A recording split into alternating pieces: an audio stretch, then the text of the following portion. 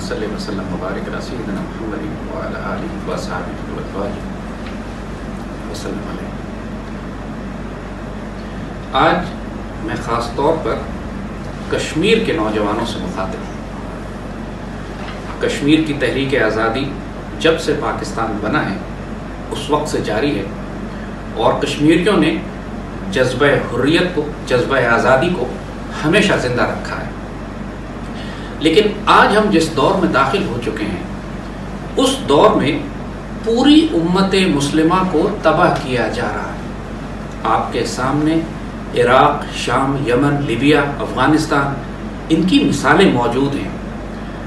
کس طرح یہودیوں نے مشرقوں نے اور سہونیوں نے پوری مسلمان دنیا کو خوارج کے ذریعے میدان جنگ بنا کر تباہ و برباد کر دیا۔ آج پوری دنیا میں جہاں مسلمان قابض فوجوں کے خلاف جہاد کر رہے ہیں، وہاں ان کو خوارج کے فتنوں سے آگاہ کرنا ضروری ہے۔ ہر مسلمان کو معلوم ہونا چاہیے کہ سیدی رسول اللہ صلی اللہ علیہ وسلم نے خوارج کے بارے میں کیا فرمایا ہے۔ یہ خوارج خود کو مجاہد کہتے ہیں ہم سے بہتر نمازیں پڑھیں گے، ہم سے بہتر قرآن پڑھیں گے، لمبی لمبی داڑیاں رکھیں گے، ان کے نعرے اعلیٰ ترین اسلامی نعرے ہو جائیں گے۔ مگر سیدی نے ساتھ یہ بھی فرمایا ہے کہ یہ جہنم کے کتے ہوں گے۔ یہ مشرقوں سے مدد لیں گے، یہودیوں سے مدد لیں گے اور مسلمانوں کو قتل کریں گے۔ اور جو فوج ان کے خلاف جنگ کرے گی، وہ فوج جنتی فوج ہے۔ وہ سپاہی جو خوارج سے لڑتے ہوئے شہید ہوگا، وہ جنتی ہے۔ سب سے اعلیٰ شہید اس کو کہا گیا۔ آج تمام دنیا کے دشمنوں کی مشرقوں کی اور یہودیوں کی یہ سازش ہے کہ جہاد کشمیر کے اندر بھی خوارج کو داخل کر دیا جائے۔ یہ خوارج پہلے عراق اور شام میں داعش کے نام سے، آئسس کے نام سے ابھرے۔ پاکستان میں یہ ٹی ٹی پی کے نام سے۔ اور ایک لاکھ سے زائد پاکستانی جو شہید ہوئے ہیں، ٹی ٹی پی کے پشت پہ سب جانتے ہیں۔ اجیت کمار ڈوول تھا، رو تھی، افغان این ڈی ایس تھی، یہودی تھے امریکنز تھے، اور انہوں نے پاکستان کو تباہ کرنے کے لیے ٹی ٹی پی کو استعمال کیا۔ مسلم دنیا کو تباہ کرنے کے لیے انہوں نے داعش کا استعمال کیا۔ ابو بکر بغدادی ایک موساد کا اسرائیلی ایجنٹ ہے۔ اور اس کے بعد اب یہ تمام موساد جب شام اور عراق میں ان کو مار پڑی، ان کا مقصد پورا ہو گیا، پورا شام تباہ ہو گیا، پورا عراق تباہ ہو گیا، پورا یمن تباہ ہو گیا، لیبیا تباہ ہو گیا۔ اسرائیل کے اطراف میں اب اسرائیل کو کوئی فوجی خطرہ ان مسلمان ملکوں سے رہا ہی نہیں۔ تو اب یہ داعش کو اٹھا کر افغانستان لے کر آ رہے ہیں۔ اور داعش کی ری برانڈنگ کی جا رہی ہے۔ اس کو دوبارہ تیار کیا جا رہا ہے تاکہ یہاں پر افغانستان میں آ کے ایک تو یہ افغان طالبان کے خلاف داعش کو استعمال کریں گے۔ اور دوسری جانب داعش کے ذریعے پاکستان اور پھر کشمیر میں داعش کو بھیجا جائے گا پچھلے کئی دنوں سے میں دیکھ رہا ہوں کہ جب بھی کشمیر میں ہمارے شہدا کے جنازے ہوتے ہیں یا کشمیر میں مظاہرے ہو رہے ہوتے ہیں، تو درمیان میں کوئی نہ کوئی داعش کا جھنڈا لے کر کھڑا ہوتا۔ اچھی طرح کشمیری نوجوانوں کو یہ معلوم ہونا چاہیے کہ دو طرح کے لوگ ہیں کہ جو آپ کی صفوں میں داعش کو پھیلانا چاہتے ہیں۔ ایک تو رو ہے جو بذات خود ان کے پولیس مین رو کے ایجنٹس اور وہ خوارج، بدنصیبی یہ ہے کہ پاکستان کے اندر جو ٹی ٹی پی ہے، اس کی تمام تر سپورٹ انڈیا میں دارالعلوم دیوبند سے ہو رہی ہے۔ حسین احمد مدی وغیرہ کی جو ٹیم انڈیا میں موجود ہے، جو کہ پرو آر ایس ایس ہیں، جو آر ایس ایس کے ساتھی ہیں۔ اور اب یہی ایلیمنٹ ان کو را نے ٹاسک کیا ہے کہ جہاد کشمیر میں داخل ہو کر یہاں پر ذہن سازی کریں۔ اور نوجوانوں کو یہ کہا جائے کہ جی پاکستان کے لیے جنگ کرنا، پاکستان سے رشتہ کیا پاکستان سے ہمارا تعلق کیا؟ یہ تو ایک قومی تعلق ہے، ہمیں اسلام کے لیے لڑنا ہے، کسی ملک کے لیے نہیں لڑنا، لہٰذا ہمیں خلافت یا داعش کے تحت آنا ہوگا۔ اب یہ نئی سازش شروع کی جا رہی ہے۔ یہ پروپیگنڈا کیا جا رہا ہے کہ پاکستان کے لیے لڑنا حرام ہے، داعش کے لیے، اسلام کے لیے لڑنا جائز ہے۔ لہذا اسلام کا جھنڈا، داعش کا جھنڈا ہے اور نوجوانوں کے ذہنوں میں یہ زہر سازی کی جا رہی زہر ڈالے جا رہے ہیں۔ بہت محتاط رہو میرے بچوں جو کشمیر میں جہاد کر رہے ہو۔ آج تم اگر تکلیف میں ہو تو کیا فلسطین کے بچے تکلیف میں نہیں ہیں؟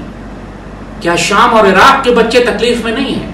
کیا افغانستان کے بچے تکلیف میں نہیں ہیں؟ کیا یمن کے بچے تکلیف میں نہیں ہیں؟ آج پوری امت مسلمہ تکلیف میں ہے۔ اور ہمارا دکھ سانجا ہے۔ جو تکلیف امت کو شام میں ہو رہی ہے، وہ ہم کو یہاں بھی ہو رہی ہے۔ جو تکلیف تم کو کشمیر میں ہو رہی ہے، وہ فلسطین کے بچے بھی وہی تکلیف اٹھا رہے ہیں۔ لیکن اگر اس تکلیف کی وجہ سے، اگر اپنے دشمن کے پروپیگنڈے کی وجہ سے تم نے خوارج کا ساتھ دے دیا، تو ستر سال کا جہاد تمہارا خراب ہو جائے گا۔ تم جہنم کے کتوں میں شامل ہو جاؤ گے۔ تم اللہ، اس کے رسول کے دشمن بن جاؤ گے۔ اسی لیے ایک بڑے کی حیثیت سے، کیونکہ اللہ کے فضل سے ہمیں پاکستان میں، ہمیں پوری دنیا جانتی ہے۔ یہ فقیر بارہ سال سے اپنی ڈیوٹی دے رہا ہے۔ دوست اور دشمن بہت کھل کر اس کو پہچانتے ہیں۔ دشمنوں کے لیے سب سے بڑا دشمن اور دوستوں کا سب سے بڑا محافظ اللہ، اس کے رسول کا، پاکستان کا، اسلام کا سب سے بڑا محافظ اللہ نے اس فقیر کو یہاں نظریاتی، تبلیغاتی جنگ میں بنایا ہے۔ ہم خطرات کو آنے سے پہلے بتاتے ہیں کہ یہ ہونے جا رہا ہے، محتاط رہنا۔ ہماری نصیحت لے لو گے تو خیر میں رہو گے انڈیا اور اسرائیل اب داعش کو کشمیر میں پیدا کرنے جا رہے ہیں۔ اس کے لیے تمہارے اندر سے لڑکے خریدے جائیں گے۔ کسی کو بیوقوف بنایا جائے گا۔ کسی کی نظریاتی تربیت کی جائے گی، کسی کو گمراہ کیا جائے گا کہ پاکستان تو صرف ایک قومی ملک ہے، ہم نے تو خلافت کے لیے لڑنا ہے۔ یہ بات کبھی نہ بھولنا کہ سیدی رسول اللہ نے پہلی اسلامی ریاست مدینے میں بنائی تھی۔ اسلام، اسلامی ملک کی ایک سرحد ہوتی ہے، ایک ریاست ہوتی ہے وہ۔ کیا مدینے کے دفاع میں جو مسلمان لڑتے تھے، وہ اسلام کے لیے نہیں لڑتے تھے؟ اسلام کے لیے لڑنا، اسلامی ملک کے لیے لڑنا۔ اس پاکستان کے بنانے میں ہم نے پچاس لاکھ شہدا دیے ہیں۔ یہی پاکستان غزوہ ہند کی فوج ہے۔ سیدی رسول اللہ نے جو اعلیٰ ترین بشارت آخر وقت کے لیے کسی فوج کی دی ہے، وہ غزوہ ہند کی دی ہے۔ اگر تم پاکستان کے ساتھ ہو، پاک فوج میں شامل ہو مشرقوں سے لڑ رہے ہو، پاکستانی ہو کر، تو تم غزوہ ہند میں شامل ہو۔ اور اگر تم خوارج کے ساتھ شامل ہو گئے داعش کے ساتھ شامل ہو گئے، ٹی ٹی پی کے ساتھ شامل ہو گئے، تم جہنم کے کتوں میں شامل ہو جاؤ۔ میں تمہیں اللہ اس کے رسول کا واسطہ دیتا ہوں، یہ غلطی نہ کرنا۔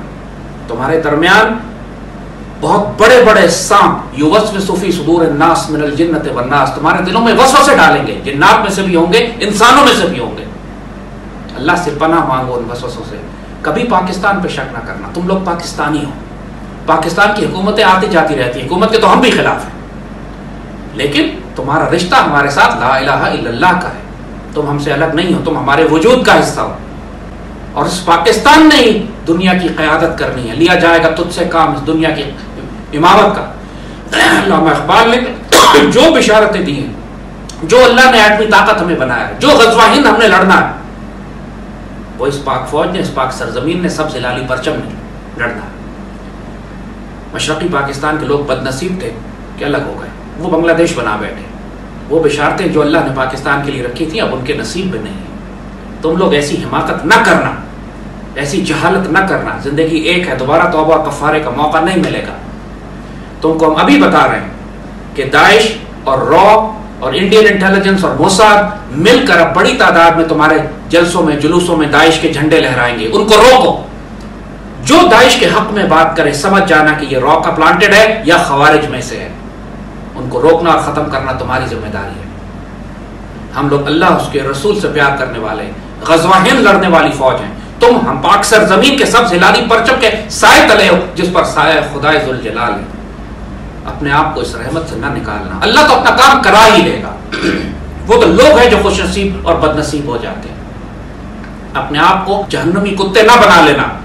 اپنے آپ کو افضل الشہداء میں شامل کرنا، جو سیدی رسول اللہ کی سنت مبارک کے مطابق مشرقوں سے لڑتے ہوئے شہید ہوتے ہیں، غزوہ ہند میں شامل ہوتے ہیں۔ یہ نصیب تمہارے سامنے ہے۔ تم کو نصیحت واضح کر دی ہے۔ تھوڑا وقت ہے فکر نہ کرو۔ یہ نریندر مودی، یہ جانور، یہ درندہ یہ درندہ مودی جو ہندوستان میں آیا ہے، اب یہ غزوہ ہند خود بھڑکائے گا۔ یہ اللہ کی اسکیم اور نظام کا حصہ ہے۔ ہمیں ایسے ہی ایک درندہ چاہیے تھا یہاں پر، کیونکہ پاکستانی تو بالکل کسی صورت میں بھی آگے بڑھ کر جارحانہ اقدام کر کے نہ کشمیر کو آزاد کرا رہے ہیں اور نہ ہی دہلی پر قبضہ کر رہے ہیں۔ نہ سیدی رسول اللہ کی حدیث مبارک کو پورا کرنے کے لیے یہ قوم تیار ہے۔ لیکن پھر اللہ کے فیصلے ہو کے رہیں گے۔ سیدی رسول اللہ کا جو فرما دیا اس نے ہو کے رہنا ہے۔ پاکستان بنانے کا مقصد ہی غزوہ ہند تھا۔ تو اب یہ مشرق ہم پر حملہ کریں گے۔ یہ ہم سے چھیڑ چھاڑ کریں گے۔ ان کے ظلم و ستم کی وجہ سے پھر پاکستانی قوم بلاخر اٹھ کھڑی ہوگی اور ہم کشمیر کے ساتھ دہلی اور باقی ہندوستان بھی آزاد ہم نے کرانا ہے۔ تم تنہا نہیں ہو۔ یہ مت اپنے آپ کو ماتم کرنا اور پٹنا کہ ہم پر بڑا ظلم ہو رہا ہے۔ پوری امت رسول پر تکلیف ہے۔ ہم سب تکلیف اٹھا رہے ہیں۔ اللہ نے اسلام کا آخری قلعہ یہ پاکستان بنایا ہے۔ اب یہ اس پر حملہ آور ہو رہے ہیں۔ اس پر شک نہ کرنا۔ دنیا اور آخرت میں رسوا ہو جاؤ گے۔ اللہ تمہارا حافظ و ناصر ہو۔ اس پاک سر زمین اس سب ہلالی پرچم کے سائے تلے ہم اکٹھے ہیں انشاءاللہ۔ غزوہ ہند میں بھی سعید رسول اللہ کے سائے تلے سعید رسول اللہ کے قدمین شریفین میں انشاءاللہ العزیز جو خوشیاں، جو بشارتیں، جو کامیابیاں اللہ نے پاکستان کے نصیب میں رکھی ہیں، کشمیر اس کا حصہ ہے۔ تم ہمارے وجود کا حصہ۔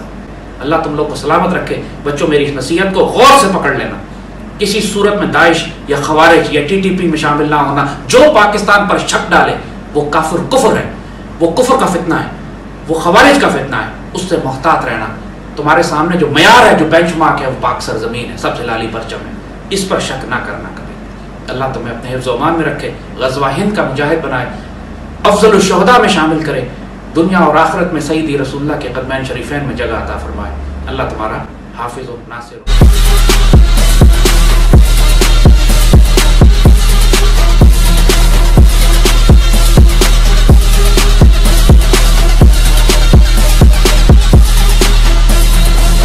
لبيك يا سيدي يا رسول الله.